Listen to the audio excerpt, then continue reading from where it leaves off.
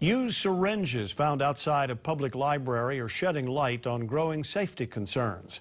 In this case, not just one or two, but more than 20 of them right by the parking lot at McCully Public Library. We've been looking into the problems public libraries have been facing recently, and a lot of it has to do with the homeless. Security cannot keep the homeless out unless they're causing problems. And we found out that at some branches, that's happening more often. Manolo Morales follows through with the latest. Manolo? Joe, staff at the McCully Mo'iliili branch told us they were shocked at what they recently found. They've also been forced to call the police more often. It was just all dumped in there. The branch manager is still in disbelief. She and the security officer found the used syringes just scattered by the planter right outside the main door.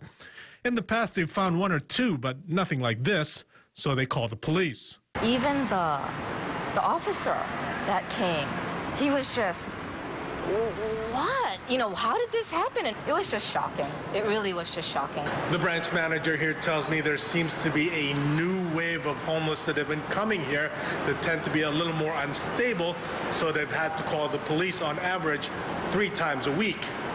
So Chang tells me the needles aren't the only problem. There was another incident when a homeless woman was threatening a little girl who was at the library by herself. She was basically saying things like, oh, you know, I know you. I know where you live. You know, things like that. Did you call police? Yeah, okay. yeah, we did. We did. And um, the child was uh, about, like, in like second grade. Oh, wow. It is disturbing. I mean, I'd be freaking out if I walk out to, to the parking lot to get into my car with my son. It's shocking for the parents who come here with their children. Some even decided not to go in at all after finding out. So you you don't want to leave them here by themselves? Uh, no. This is the first time I was going to really just drop them off and then do an errand and come back and get them.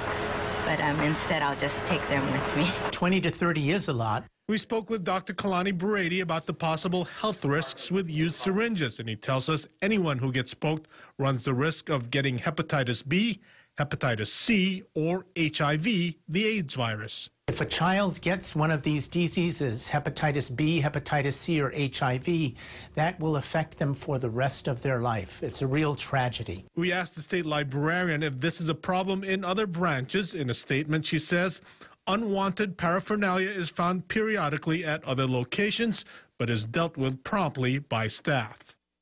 I also asked state library officials if more security is needed, and I was told that that is not the answer. They tell me they are working with community partners to improve the situation. We checked back in at the state library downtown, which is a location that's had problems with the homeless in the past. Security there tells me it hasn't gotten worse, but it's not getting any better either. Manolo Morales, KHON 2 News.